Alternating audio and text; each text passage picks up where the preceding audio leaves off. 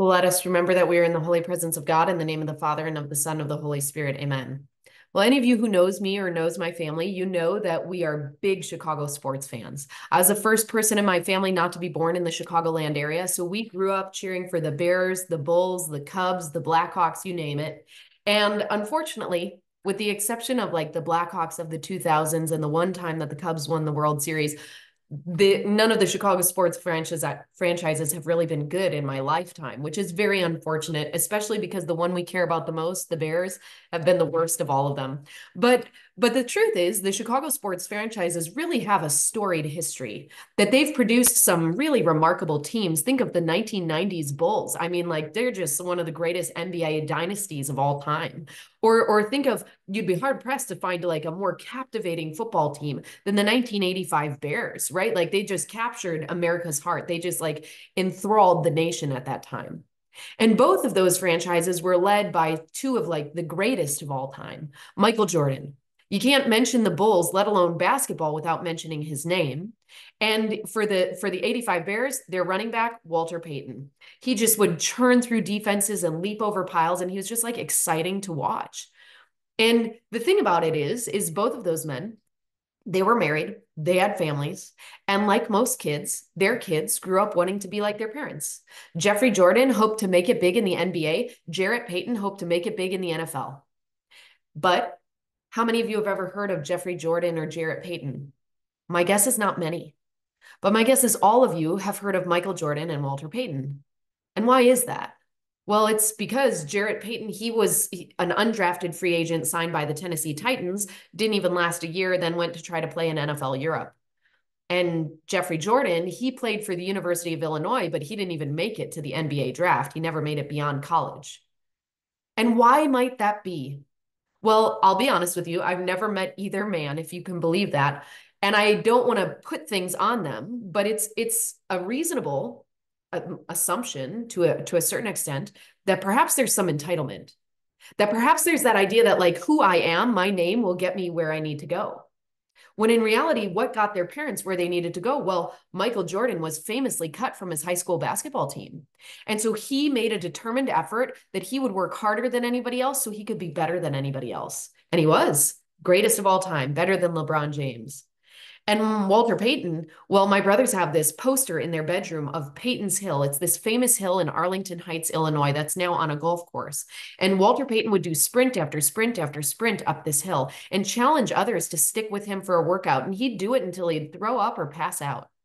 And this is what enabled his legs to like churn through defenses, to leap over these piles of people, right? Like it's what enabled him to be the greatest running back in Chicago Bears history and one of the greatest of all time in the NFL that both of these men, they didn't have their careers handed to them. They worked for it. And the problem is, I think a lot of times you and I allow that attitude of entitlement to creep into our lives, right? That too often I have athletes who expect like some kind of reward or pat on the back because you showed up to practice every day. Dude, you're supposed to. You made a commitment. Come on now, keep your commitments. Like that that you don't deserve anything for that. That's what you're supposed to do or the or the students that i have who you know you guys turn in all your work and you turn it in on time that's what you're supposed to do like i'm not giving you a reward for that like you're going to be penalized if you don't do that and i think sometimes this attitude of entitlement that we deserve certain things can even creep into our relationship with god and in today's gospel, we're, we're given this beautiful like vignette to kind of depict this because it's the healing of the centurion's servant. And what's really beautiful is the Jewish people, they come to Jesus and they're like, hey, the centurion, his servant is ill. And like, you should heal him because he deserves to have you do this. He's entitled. He deserves this. But notice it's not the centurion feeling entitled for himself, it's other people. And there's something kind of beautiful about that, that they're so appreciative that this Roman is a supporter of the Jewish people. How crazy that they're like, yeah, he deserves this. But the centurion is one of the few people ever in all of the Gospels to be praised by Jesus. And guys, think of how incredible that is that you're remembered in the Gospels as somebody Jesus praised. That's exceptional. And he's praised by Jesus. Why? Well, because he's he's somebody who says, "No, no, Jesus, you don't owe me anything. I'm not entitled to anything. I'm not worthy I don't deserve this any more than anybody else. You owe me nothing. And it's this attitude that Jesus praises beyond all else. That he says, Never in Israel have I found such faith. Right. And I think that this is a really important lesson for us that God doesn't owe you anything. And the sooner you realize this, the better and the happier you'll be. Why? Well, because as soon as you realize that God owes you nothing, then you'll stop trying to control God. You'll stop trying to be God for God, right? And when you allow God to be God, then you'll start to recognize that, like, oh, God doesn't owe me anything. So I don't need to be frustrated at God all the time. Instead, like, you recognize, oh, so then everything that I do have, God didn't owe to me. So it's all a gift. And this leads to gratitude, and gratitude leads to joy.